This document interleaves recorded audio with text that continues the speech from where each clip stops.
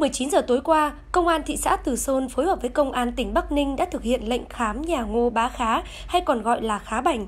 Ngay sau đó, lực lượng chức năng thực hiện lệnh bắt giữ Khá Bảnh và hai người bạn khác cùng sinh năm 1993. Sáng nay, người thân hàng xóm của Khá Bảnh ở xã Tam Sơn, thị xã Từ Sơn, Bắc Ninh vẫn chưa hết bàn tán xôn xao về sự việc này. Chia sẻ với chúng tôi, bà Nguyễn Thị Khánh là mẹ của Khá Bảnh cho biết bà vẫn chưa hết bàng hoàng khi chứng kiến công an đến khám nhà.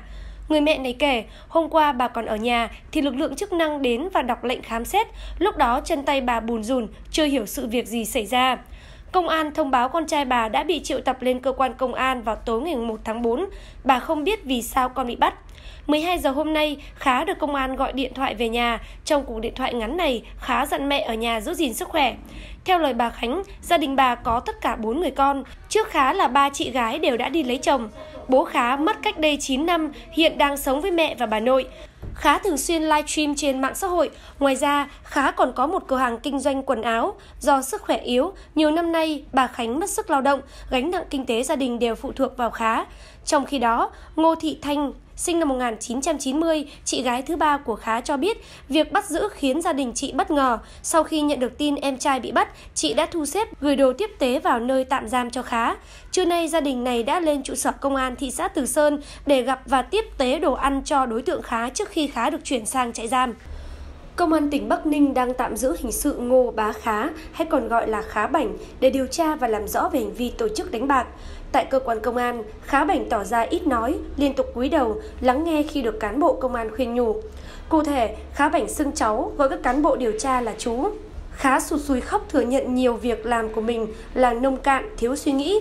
Khá cũng có cho rằng đã có tội và phải chịu tội. Khá Bảnh nói, con người cháu không phải là con người mất dạy, đúng là việc lô đề là cháu mới làm thôi. Cháu có tội thì cháu nhận. Cháu gặp chú đây cháu cũng rất là mừng, cháu có đôi lời tâm sự với chú như thế thôi, không có tội cháu đã chẳng phải đến đây. Cháu xin lỗi chú vì suy nghĩ nông cạn của cháu, con người của cháu ra ngoài người ta quý cơ, chuyện xảy ra cũng để người ta thấy ác cảm. Cháu xin lỗi các chú, cháu có tội, cháu phải chịu tội. Sau khi thừa nhận việc làm của mình đã sai, Khá Bảnh bỗng òa khóc nức nở khi nhắc về mẹ mình. Khá cho biết mục đích làm lô đề, bài bạc để kiếm tiền xây nhà cho mẹ ở. Khá chia sẻ rằng chú cháu muốn nói rằng cháu nghĩ về mẹ cháu, mẹ cháu còn có cháu thôi. Trước đây cháu rất nghe lời, rất biết nghĩ đến mẹ, nghĩ đến gia đình. Doanh thu của cháu cũng đủ để hàng tháng cho cả nhà tiêu, nhưng cháu mới có ý định xây nhà cho mẹ ở. Trong thời gian xây nhà được khoảng một tháng nay cháu mới bắt đầu có suy nghĩ làm lô đề, nghĩ là nhặt của mấy anh em kiếm thêm vài đồng vào tiền xây nhà. Cháu thấy sai rồi, nghĩ nông cạn quá, không nghĩ làm thế thì sẽ bị ảnh hưởng như thế nào. Trong buổi làm việc với cơ quan điều tra, Khá Bảnh cũng nói về đoạn clip đập phá xe máy được mình đăng tải lên mạng xã hội trước đó. Theo lời Khá, việc đập phá xe máy được cho là để quảng cáo cho một cửa hàng xe đạp điện. Sự việc này, Khá bị Phòng Cảnh sát Hình sự tỉnh Bắc Ninh lập biên bản xong chưa xử lý. Khá cho biết mình nhận được lời quảng cáo cho cửa hàng xe đạp điện với mục đích được tặng một chiếc xe về cho mẹ đi. Sau khi bị cơ quan chức năng triệu tập xử lý, Khá rất bực tức vì nghĩ cửa hàng kia xui dại. Khá nói rằng cửa hàng xe đạp điện có ý tưởng như vậy, cháu cũng định lấy cái xe điện về cho mẹ cháu đi, nhưng cháu chưa kịp nhận xe đạp điện, cháu vừa đăng lên thì bị xử lý như này, cháu thấy bực mình với thằng đấy vì kiểu như nó xui dại mình, cho mình vào thế đấy. Khi được các cán bộ điều tra hỏi về việc bạn gái chứng kiến sử dụng hồng phiến, Khá Bành Bảo cho biết đã có nói với vợ bình thường chẳng bao giờ chơi cả, Hôm nay buồn cho chồng chơi một hôm. Theo lời Khá, ngày xưa chơi hồng phiến nhiều nhưng lâu nay không ai chơi cả nên cũng không chơi nữa. Sau câu trả lời này, cán bộ điều tra khuyên Khá phải làm việc nghiêm túc, trung thực để có cơ hội sớm về nhà. Khá Bảnh cũng nhắn nhủ gì đến với người thân, bạn bè, giới trẻ. Khá nói, cháu muốn nói với mọi người rằng ở nhà hãy giữ gìn sức khỏe thật tốt, chờ cháu trở về. Nhắn các chị phải có công việc làm ăn tốt. Nhắn với các anh em xã hội, khuyên các anh em làm những việc chân chính, những việc xứng đáng, đừng làm những điều sai trái. Khá bảnh là một trong những hiện tượng mạng xã hội đang nhận được rất nhiều quan tâm của giới trẻ. Anh nổi lên nhờ những kiểu tóc bầm ngựa, tính cách có phần nổi loạn, dám làm, dám chịu và loạt video đặc biệt. Trên trang cá nhân với hơn 600.000 lượt theo dõi, Khá Bảnh thường xuyên livestream chia sẻ những điều thú vị về bản thân, kèm theo đó là những clip nhảy múa đặc trưng theo phong cách Vinahay. Mỗi video xuất hiện, dưới clip có không ít bình luận trái chiều. Tuy nhiên, bỏ ngoài tai những lời chê bai, mới đây Khá Bảnh đã quyết định cho ra lò một bộ phim ngắn mang tên Tình Anh Em. Là gương mặt đang nhận về rất nhiều quan tâm. Chỉ sau thời gian ngắn xuất hiện, bộ phim này đã nhanh chóng đạt tới 10 triệu lượt xem và lọt vào top 1 tìm kiếm trên YouTube.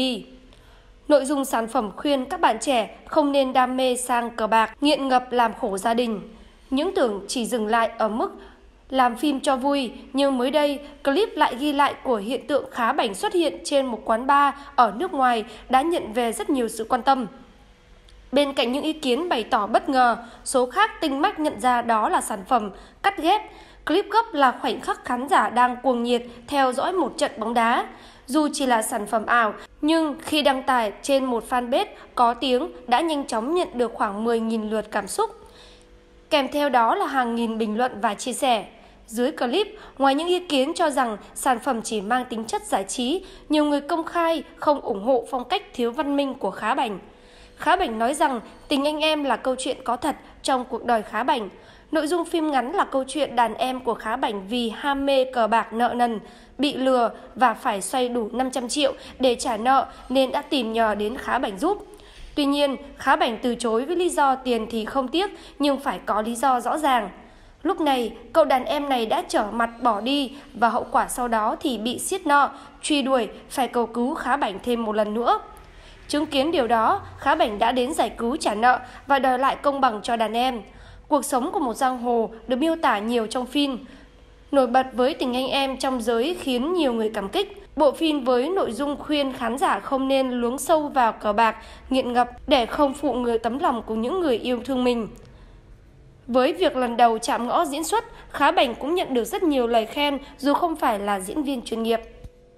Khá Bảnh là một trong những hiện tượng mạng hot nhất hiện nay. Tuy nhiên, nếu có tò mò tìm hiểu về lý lịch khá bảnh thì lại không có nhiều kết quả. Đa phần các kết quả mà bạn tìm kiếm được đều lấy từ hình ảnh, chia sẻ livestream của chính bản thân khá bảnh. Khá bảnh sinh ngày 27 tháng 11 năm 1993 Tại Từ Sơn, Bắc Ninh, Khá Bảnh là con trai duy nhất trong gia đình 4 chị em gồm chị gái và Khá Bảnh.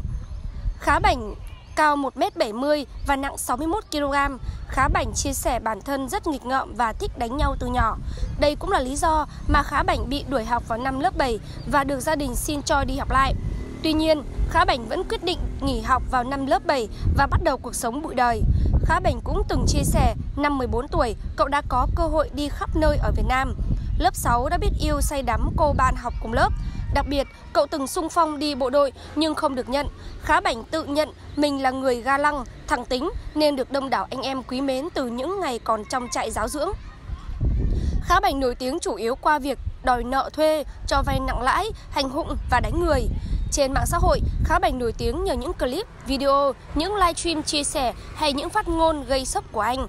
Trên trang fanpage của Khá Bảnh có hàng trăm nghìn lượt theo dõi và kênh YouTube 1,6 triệu lượt đăng ký. Một con số khá ấn tượng cho thấy anh cũng là một trong những nhân vật được công chúng quan tâm. Đầu năm 2011, do tội đánh người và cố ý gây thương tích mà Khá Bảnh bị bắt vào trại giáo dưỡng số 2 tại Yên Mô, Ninh Bình. Cơ sở giáo dưỡng thuộc Bộ Công an dành cho thanh niên phạm tội khi chưa đủ vị thành niên. Năm đó, Khá Bảnh chỉ mới 17 tuổi, Khá Bảnh cải tạo ở đây 2 năm, đến tháng 12 năm 2012, Khá Bảnh ra tù sớm hơn dự kiến 3 tháng. Và theo chia sẻ của anh thì trong lịch sử hơn 40 năm hình thành của cơ sở này, chưa có ai có thể đứng làm thủ lĩnh của cả nghìn học viên ở đây như Khá Bảnh. Năm 2013, sau khi ra khỏi trại giáo dưỡng, Khá Bảnh bắt đầu xây dựng đế chế của riêng mình. Và cũng từ đó, Khá Bảnh được nhiều người biết đến hơn, đặc biệt là những bạn trẻ, thanh niên mới lớn. Ngoài lần nào vào trại giáo dưỡng vào năm 2011 thì Khá Bảnh đi tù thêm vài lần nữa nhưng thời gian không nhiều. Theo Khá Bảnh chia sẻ, lý do anh vào tù là những tội án như hành hung, đánh người gây thương tích liên quan đến chuyện đòi nợ và không liên quan gì đến cướp của hay hiếp dâm. Lần gần đây nhất, Khá Bảnh ra tù vào ngày 24 tháng 9 năm 2017. Sự kiện này gây chú ý nhất bởi đông đảo anh em đã đến đón Khá Bảnh. Khi được chiếu trên kênh YouTube riêng của Khá Bảnh, video này đã thu hút 13 triệu lượt xem. Khá Bảnh nổi tiếng vì có tính cách có phần nổi loạn, dám làm, dám chịu, những chiến tích tù tội. Đặc biệt, anh thường chịu xuyên livestream, chia sẻ nhiều điều thú vị về chính bản thân, những clip nhảy múa, lắc lơ trong quán bar. Đặc trưng là điệu nhảy Vina House đang gây sốt trong giới trẻ hiện nay. Fan của Khá Bảnh chủ yếu là những thanh niên mới lớn, thấy Khá Bảnh như một hình mẫu có cá tính, bụi bặm mang phong cách giang hồ. Một số người khác thích Khá Bảnh cũng có thể vì những vũ điệu quẩy lắc mang thương hiệu của anh. Bên cạnh đó, cũng có nhiều người ghét Khá Bảnh vì công việc đi đòi nợ, hành hung người khác hoặc những phát ngôn gây sốc, khoe chiến tích tù tội trên mạng xã hội. Dù là ghét hay thích thì điều này cũng góp phần cho các tên Khá Bảnh được biết đến nhiều hơn và trở thành một người nổi tiếng trên mạng xã hội.